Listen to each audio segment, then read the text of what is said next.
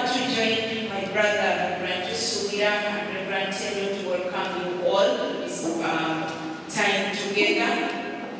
Uh, permit me call you brothers and sisters in Christ because I cannot mention your titles, uh, but you are brothers and sisters in Christ this morning. The Lord has given you very serious work. You know when Jesus says in this scripture that I am the door, in the